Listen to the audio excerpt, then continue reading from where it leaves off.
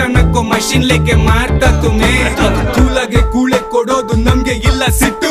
ಗಂಜಲಿ ಮಾಡ್ಕೊಂಡು ಬಂದ್ರೆ ಕುಯ್ದೋಯ್ತೀಯೋ ಜು.